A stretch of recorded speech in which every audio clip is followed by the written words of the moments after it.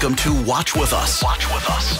An inside look into your favorite TV shows, wh- which delivers the latest TV news that you want to know about. Here's your host. Ladies and gentlemen, Us Weekly's Emily Longeretta. Hey guys, welcome back to the Watch With Us podcast. I am your host, Emily Longeretta, and I am so excited because Big Brother is officially here. And I know you guys have all been waiting and wanting more Big Brother content. So, of course, that's what I'm bringing you. So, I didn't want to do it alone because I am not the Big Brother expert on our staff. We actually have quite an expert who if you're watching Big Brother and you're not following her on social media, you are you are missing out, trust me. So, Managing editor Sharon Tharp, thank you so much for joining. Thank you for having me. I'm excited and thank you for that nice intro. Of course. I feel like you are you've been waiting for this. Like this is the highlight of your summer.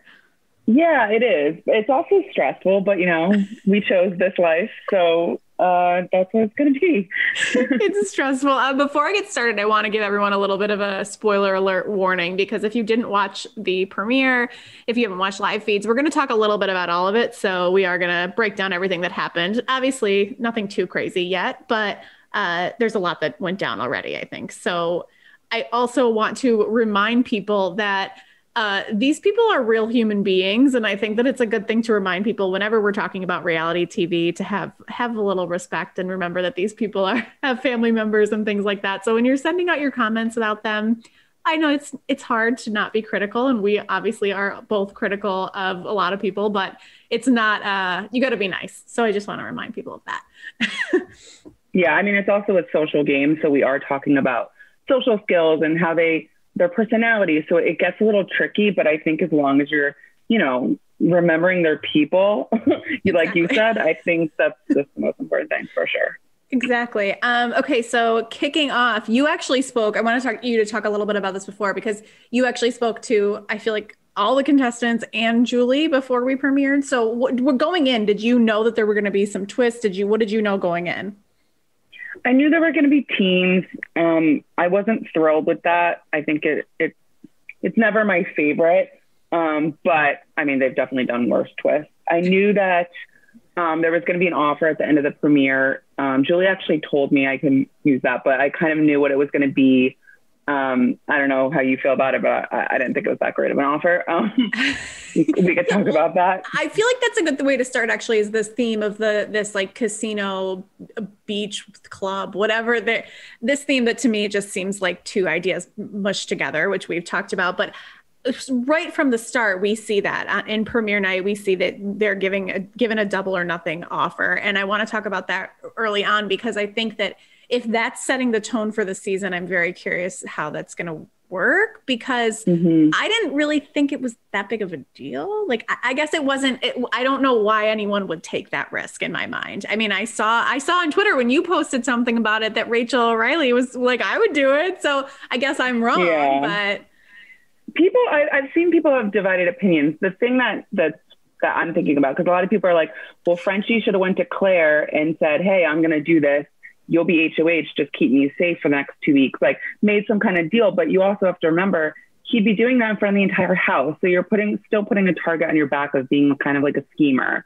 So again, he didn't have much time to decide. He couldn't really consult with anyone. I would have made the same decision like I, Rachel's a compy, so like of course she would get it. Yeah. So I, I, understand, you know, she's more of a risk taker. I'm not a risk taker. I'm I'm a safe person. So like I would I and I just love that Frenchie when when he's being propositioned, Julie was like, don't don't decide just yet. And he's like shaking his head. He's like, it's not gonna happen. She was like, let the audience think you're gonna decide. And he was like, exactly. there's no way I'm doing this. like, we have a commercial break. Please, suspense. Come on. Well, I think that's funny. I thought of the Claire thing too, that he could have gone over and talked to her. But yeah, like you said, everyone would have seen it, but also who's to say she would have kept her word? He hasn't even had one conversation, or maybe he's had one conversation with her. You can't trust anyone three seconds in. So, I mean, I think that he, yeah. It's just too tricky. I mean, it's great. I, I, I think we learned over the last couple of years that actually winning the first HOH is, is good because you have people come to you. So I, I think he did the right thing. You know, it'd been it would have been nice to be safe for two weeks, but you know, as long as he plays this first week good, I think he should be fine either way. So, you know, can't hate him for not taking it. I wouldn't have done it. Yeah, same. Um, I think obviously one of the big changes this season, like you said, is the team situation. How do you feel about teams? Yeah, it's just not my favorite thing. I think it hinders gameplay a little bit. The thing I will say is that I'm happy. You know, it was on this like, you know, slot machine, but it was kind of contrived because I'm sure they paired up certain people and they made it like as fair as possible. Because in the past, it was more of like a draft, like, you know, pick out of everybody. And it, the teams were kind of unfair, I would say. But this time, you know, I, there are people I like on every team. I think the teams are like kind of uh, even in some way. And like even the, you know, Frenchie's team I thought was like the Motley crew and they're the ones that won. So, you know, I, I'll see, I like to see how it goes. And I like that it's only going to be, I think it's, they said four weeks. So we'll see. So that's what I was going to ask you. Do we, I know we've done a little bit similar to that in the past, but for people who haven't watched in a long time, I know that it, I want to make sure that people who like maybe are just watching for the first time, like, is this going to be like a survivor situation where it changes to two teams later or and then it changes to individual game do we have any idea of that yet i don't think so. I'm trying i also have the worst memory in the world so i'm trying to remember what happened in big brother 11 and 14 right. But um I, i'm assuming it's going to go to an individual game at, after that. Mm-hmm. again i don't know. I think these julie told me that these offers are going to keep popping up.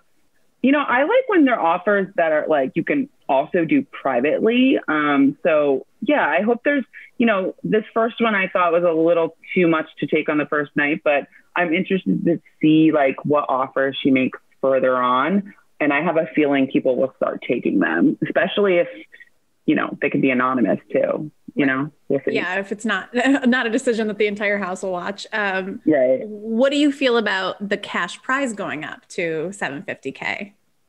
I mean, it's about time. Why is it like, taking so long? and you know, not for nothing, and and and not trying to hate on Survivor because I would never survive on Survivor. Like let's be real. Um, but you know, that's 39 days. You're also starving. It's like a totally different experience. But Big Brother's three months of your life away from your family, away from work. Um, you know, it's a pressure cooker in there. Like it's it's not fun. I would say. Right. It's not easy by any means. Yeah. Yeah, and 500 grand. Like I think that's respect respectable. Like 20 years ago, but again, it's 21 years later um, and I think they should have just said the million. I mean, why are we doing seven hundred fifty thousand? Well, is obviously you know, and the listeners know that I've watched the challenge for so long. They moved up to a million years ago. And it's no like Big Brother, their ratings have always been higher than an MTV show. Obviously, now the challenge has grown in the past couple seasons, ratings wise, a lot higher than it was. And they've obviously also upped their budget, especially now that there's Paramount Plus and they're all under the same umbrella. So I'm thinking, especially now that they're all under the same umbrella. Why is that million dollars not? Well, CBS has it, so I guess I'm a little confused because I think if it comes down to what's the most challenging, I think that there it's just as difficult. So I don't get the difference. Right. It's definitely, I would say, more mentally challenging Big Brother, but and also Absolutely, I would assume. Yeah I would assume it's cheaper to produce than the challenge, even. So I'm again, I, I, agree with you. I'm just like, why are we cheaping out on you know an extra 250 grand? I don't know. It just doesn't really add up to me, but yeah, definitely. it is what it is. For sure. Um, I think it's a little wild. So I want to get into the cast a little and do a little breakdown here of who maybe who we stuck out or what your initial impressions were. And I want to start with Travis because I think he was the first one they showed, which was a choice. Um, and first, I got the first thing I said, and I know I texted you this last night, was like Chase Stokes vibes plus extra testosterone. So for anyone who watches Outer Banks, I mean, if you put the side by side, it's there. But I also got like Hayden vibes with his like laid back beach. Oh, okay. Yeah, I also got vibes from. I mean, if anyone watches Survivor, there's uh, this guy Millennials versus Gen X named Taylor. I got vibes yeah. about that kind of situation. I will say, and again, spoiler alert, I guess it's not really a spoiler, but over you know over the night, he kind of grew on me a little bit because he, he I think he went in with the right attitude of like, let me dumb myself down a little bit, but he was also picked last in the draft, right. and I think it's because he did he went too far. So he pull, he's pulling himself back a little bit. You know, overnight he was kind of throwing down a little bit with some of the other guys, and he realized he was doing it and was like, I should probably distance myself. So I don't know. I think he's probably smarter than I'm giving him credit for. Um, but yeah, he's just like a regular. I mean, we've seen this before, kind of thing. So I'm not like super high on him. He said bro in the first three seconds of the video, and I was like, oh. Like he said it not in a funny way, like said it like that's clearly his his like vocabulary. So I was like, hmm, I don't know. Yeah, I mean, Um, who was another person that stood out to you first impression wise? Um, so it, it's it was a little different. Like in my interviews with them, and then on the premiere, like I was really high on um, Derek X. He seemed really smart, really like cool, like chill guy. I'm a little more worried about him after the premiere and after the feeds. Um, I think he is. He's also kind of broing down. He's, you know, he wasn't a frat. I guess, I guess that's what it. I, and he's having some tension with Whitney already. Like, there's already stuff going on, so I'm a little worried about him. Um, who else? Wait, I mean, what I is love. happening with him and Whitney? Tell us what what happened in the live feeds. I mean, it's very silly. This is a night one situation. It's very like subtle tension, just like he's not cleaning and she's a mom and she's like, why isn't he cleaning? And then this morning she was like, oh, I heard you snoring. And I'm just like, you know, those awkward things. Yeah. And I'm like, you know, I, I you know, if he plays it, this, this is silly stuff. Whitney's actually coming on pretty strong, so she could be in trouble too. I'm not sure, but yeah, I, I, I was higher on Derek going into the season. Um, who else? Claire, I was really high going on the season, and actually, she's she's kind of holding up to to what I thought about her. She's Mhm. super smart. She's a big fan of the game. Um, she she won, so she's kind of has a little bit, you know, not power, but she's I guess a team captain. Yeah. Um, Do you think that the team captain of it all is going to come back? Like it's going to do, be, obviously, it's if the team wins, they're all safe. But do you think that they are also going to have power throughout the game or not really? Yeah, I didn't. I don't know. I don't know if they're going to continue to be team captains every week. I'm assuming yes. Uh, yeah, that's hard to tell. Actually, I don't think we know that yet. Um, speaking of Whitney, I she was for me an early favorite. I don't I really liked her like aura. I liked when when they were introduced her, like just everything about her seemed so positive. Um Mhm. she's also I mean, she's also like literally stunning and like a single mom and a boss, which I think is so cool. Um, I would not be surprised if a showmance happens with her just because I mean, the first thing we even heard her say on the show after when she was like picking her team was like, Travis is cute, but I'm going to go with Brent, which was like smart choice, I would say. But I, I found that very, I was like, oh, she's definitely like, I'm going to flirt and like good, like as she should, like it's, I, I'm fine with that. So I, I, I definitely Yeah. have my eye on her. I do think she, I didn't watch the live feeds, I will admit. Uh, but I do think she has the, it, she could come on strong. So you said she did come on a little strong. Yeah, I mean, I don't blame you for watching them. I was up till 2 a.m., which was a mistake. but um, no, not even strong. Just she's like a spunky kind of girl. I don't know. It, it's like, I, I- it's not over the top. I mean, we're talking about like subtle things on night one. Right. Um, but yeah, I, I see what you're saying. She's also gone back and forth about the showman thing because she like says maybe, and then she's like, no, I'm not going to do that. So I could see it going both ways. She was also kind of cuddling up with Xavier. So I don't know. I don't. Yeah, I don't know who. Also, Alyssa. So like, Alyssa was in the bathroom with Xavier for a really long time, and Frenchie, who's the HOH, he's like, well, this is the thing about Frenchie. He is not going to nominate a woman, he said, and he's not going to nominate a person of color. So we can assume that he's going to nominate, and I tweeted this like some combination of Travis, Christian, or Brent. Um, but then he also said he's going to be a showmance killer. So that's where my worry for like Alyssa. Whitney or Whitney or Alyssa come in because I'm like, well, who's the showmance? Because I'm really not. It's not clear who he's Right. speaking about. You know? It's funny. So- I do want to say a note about Alyssa because I, for those uh, longtime listeners, know that I'm a big fan of Siesta Key, and I know I don't think you watch Siesta Key or you're not caught up. With No, it, I but- do. I Oh, you do. You do. Okay. I could, why did I not know that? So uh, something I thought was hysterical that she said she lives in Sarasota, which is where Siesta Key is.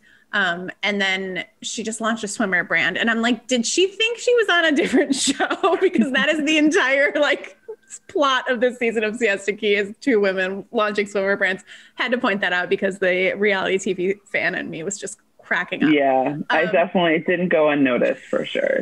I do actually really, I really like her. I think she is so beautiful, and I was like actually surprised that more of the guys weren't com- like commenting on the women looks, women's looks. But that brings me to the fact that we didn't see. Obviously, you saw in live feeds, but we didn't see any really like talking or first impressions of anyone, which I I think is a huge miss for the show. I think in general, like obviously competitions are such a big part of the show, but viewers love to see the interaction between people. So like do you feel like that that was a bad choice on them?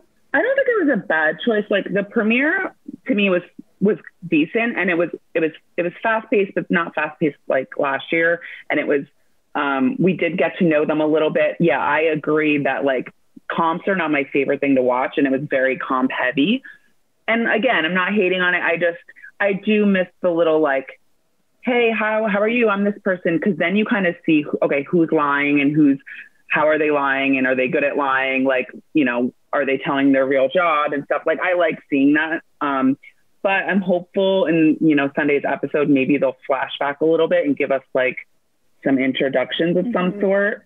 Um, but yeah, that, I, that kind of stuff I do miss. That was, Yeah. that was missing in the premiere. I even I I used to like love in the beginning when they would first enter the con, like do their confessionals, their first ones where they would kind of go through like what they thought about each person, and I feel like that is always so interesting because just like people want to like we have a text chain telling our first impressions like i want to know what they think when this person walks in the door and their first impressions because like some of these people obviously are gorgeous some of them are loud some are not like i just want to hear all of that so that's something that like i really missed Yeah, well, yeah, we'll see. I think we'll see that in the Sunday episode. Since like the diary rooms, like what was also weird in the premiere, we usually don't have diary room. diary rooms, Mhm. and we did. They'd like pre-tape them, which was like kind of cool, but like very generic.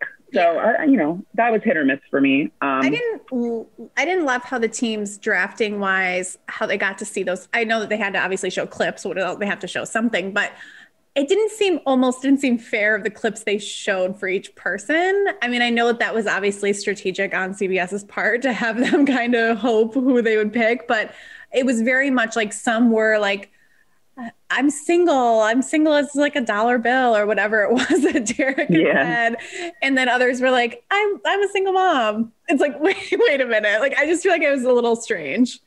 yeah, I think I think Travis missed the assignment because he was just like, I want to be shirtless, and Yeah. Yeah, the poor kid. I mean, like, I wonder what the prompt was. Was it, hey, you know, what would you tell your other house guests about you? Because if that's the case, then you kind of have to assume maybe they're going to show it. But if not, like, yeah, some of them got, you know, the raw end of the deal, I would say. Yeah, I don't think so. Um, someone who on our on our text chain seemed to be a common uh, interest for all of us was Hannah because she just seems so freaking smart and like Mhm. charming and full package. Um, she's like, I think she said she's a dancer, she's into fashion, but she graduated college at 19, and she's is she the youngest one? Is that correct? She's the youngest one. She's biracial. Like, this girl, I really, really like her. And we didn't hear anything from her in the We, preseason. I She did did, we didn't see her. like, Yeah, I mean- her. very weird. But um, yeah, I was worried because I was like, all right, 21 year old girl, we don't know much about her, but she she is smart. I mean, I could Mhm. see. I don't know. I, I have hopes for her. Like, I, I want to see her go far. Yeah, absolutely. And then there's Sarah Beth, who is the chemist and makes clothing. I got like, like Nicole vibes from season 21 ish because she's like quirky and a little bit like nerdy, which she is. That's fine. Um, Yeah. and she's in a relationship with a woman, and she was like very open about that, which I loved. And then, but I think it was very interesting. Her personality is either going to rub people the really nice, like a really good way, or she's going to come off like annoying to people. And I can see that happening. Yeah. So I don't know. Did you see anything of that at first or no? Um, I think she just like she did say she was a voice actress, which was interesting. I'm assuming she must do that on the side because like, how do you lie about that? If someone asks you about it, you got to know like some stuff. Um, but yeah, I, I could see it going. She, I mean, she also said in the preseason like she she knows she's not like a threat. She plans to float, and I kind of I like when people embrace like their strong suits, and she knows that like okay, I have to float to probably get to the end. So like I like that about her. Um, yeah, I, I don't know. She could go, I guess, either way. She seems to be acclimating decently, you know, in the two hours or whatever I've seen of feeds. what else has stood out on the feeds to you? Is there anyone who's like you are into or you're annoyed with that surprised you? I'm trying to look at the cast here. Tiffany, I'm loving her. She's very calm, cool, collected. She has talked a lot. Her and Frenchie are like DFF, and Which then is so Whitney's- crazy because they seem to be completely opposite, and I love that. and but they are parents, and Whitney's trying to get in that little group too as the other parent in the house. But yeah, Frenchie's like teaming up with Tiffany, and she's I like her. She has like really good vibe. Um, Kyland, I like. Um, Der- Derek, I feel like he's going to be great entertainment. I just worry a little bit that he's coming on a little too strong with his personality. Derek, He's F really is fun. Yeah, Derek. Yes. Derek F. Sorry, very fun guy, very like friendly guy. Um, but you know he's a talker, so like sometimes that can annoy people. But well, it, let's see how it goes. I mean, he's fun to watch so far. So Yeah, I mean, I liked, I like that he's, I mean, he's the son of a, a very famous fighter, um, and he, I loved that there was like Rocky references in his video, so I was like, oh. Mm-hmm. I'm in. Like for a Stallone fan, I'm in.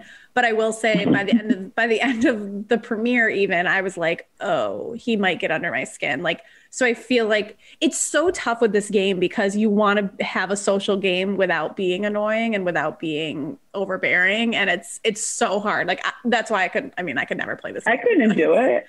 It's so. I would tough. I would not be able to handle this. Like I'm not yeah, exactly. And I will say I want to point out Britini because Britini got a lot of a lot of hate, I guess.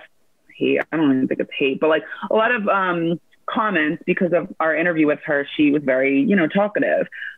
And I even said, I was like, well, she's definitely a talker, which again could be a good thing or a bad thing. Same thing with Derek.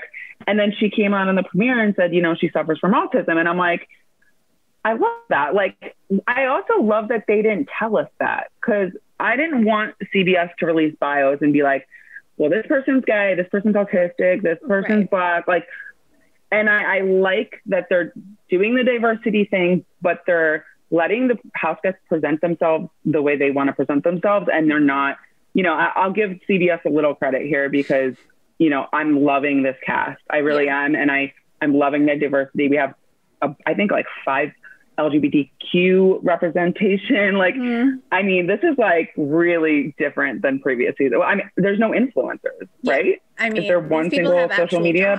Like, no, which is, I mean, So I'm into it. I think that's a really good point to to note about Britini because like it w- it could have been very easy for CBS to kind of like be like we hired an autistic girl. We're you know making it so a like such a like part of her and that that's who she is and like giving her that label which they didn't ahead of time and they just let her say it when she wanted to say it in her video and I think that like you said like that was such a relief. Like I'm so glad we didn't know ahead of time. I, that would, yeah, I don't like when they use it to like promote the season. So I'm glad they didn't do that. That's tacky and gross, to be honest. Um, that said, her karate skills terrify me. And I'm like, she's probably going to be a huge physical threat. Like, I think she's bubbly and chatty. So I think that people may be like, oh, like, I don't know how much of a physical competi- com- physical threat she's going to be, but like, I- think that she's one to watch. Also, she was valedictorian in college, which is not easy. And I'm like, wow, she must be very smart. Crazy.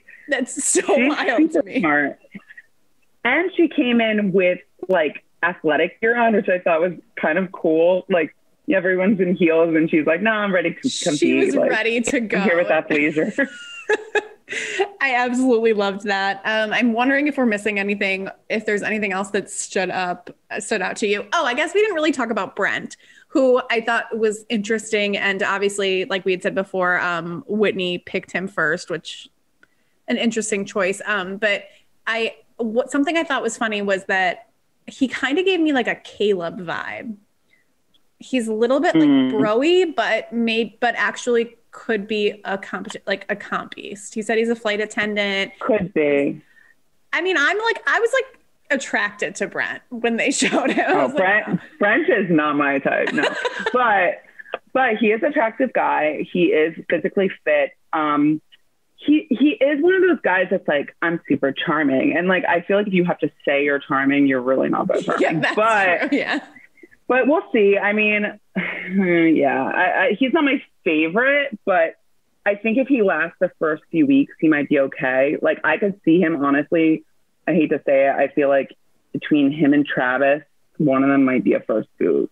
So that's my worry that. with Brent because I really think Frenchie's going to go after these like alpha dudes, which I don't think it's the smartest decision for him, to be honest, because next week he's not HOH. Um, right. Like, I, obviously, those are threats and you want to get them out. But yeah, that early on, you're going to be. He's trying to make a big move as a fan, and I get it. And I'm, I'm, I want to see it. I'm team, whatever look, whatever's fun to watch.